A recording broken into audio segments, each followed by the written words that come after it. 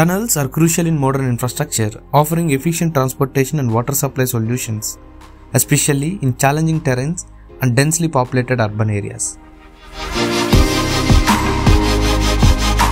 Multiple tunnel projects are under construction across India, including the Zojila Road Tunnel project in the young Himalayan terrain of Jammu and Kashmir. This Asia's longest bidirectional tunnel, spanning around 13 kilometers, will provide year-round connectivity to Ladakh.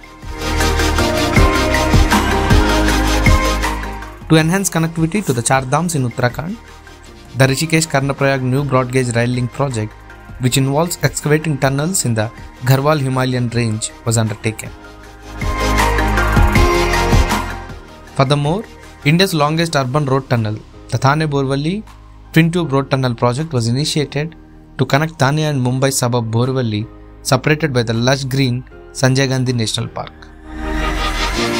Additionally, two tunnels will be built parallelly between Mindspace Malad and Charkop as part of the Mumbai Coastal Road Project North in Mumbai. Three tunnels are being excavated in Madhya Pradesh as part of the Tejaji Nagar Balwara Road Project. In Karnataka, the Satyagala drinking water project involves excavating a 12 kilometers long D-shaped tunnel to improve the drinking water supply to Ramnagara. MEIL is proud to be involved in these tunnel projects, which will play a crucial role in shaping India's infrastructure landscape.